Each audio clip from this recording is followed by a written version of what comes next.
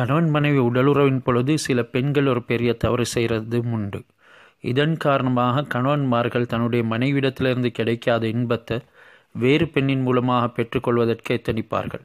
அல்லாவின் மீது பயமில்லாத ஆண்கள் அதனை சர்வசாதாரணமாக செய்துவிடுவார்கள் இதனால் மனைவிமார்கள் தன்னுடைய கணவனின் ஆசை என்னவென்பதனையும் அறிந்து கொள்ள வேண்டும்.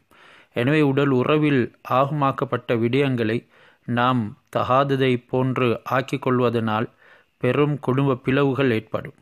அதிகமான பெண்கள் உடலுறவு கொள்ளப்படக்கூடிய நேரத்தில் தன்னுடைய கணவனுக்கு எந்தவிதமான பிரதி ஒரு செயலையும் ஒரு ரெஸ்பான்ஸையும் கொடுக்க மாட்டார்கள்.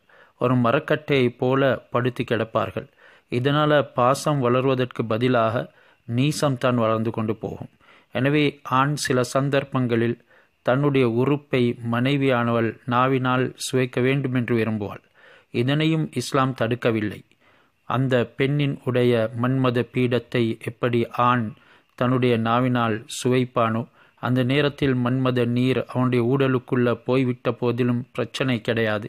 இதே மாதிரி ஒரு பெண்ணும் தன்னுடைய கணவனின் உடைய உறுப்பை அவள் கணவன் விரும்பினான் என்றால் தாராளமாக சுவைக்க வேண்டும். ஆனாலும் கூட அந்த விந்தை அவளுடைய உடலுக்குள்ளே அனுப்புவது கூடாது.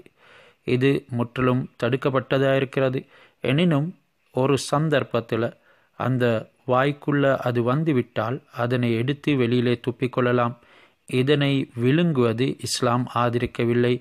இது ஒரு அருவறுப்பான செயலாகத்தான் கருதுகிறது. எனவே இந்த விடயங்கள்லையும் நாங்கள் இயன்ற அளவு இஸ்லாத்துக்கே முதல் உரிமை கொடுக்க வேண்டும்.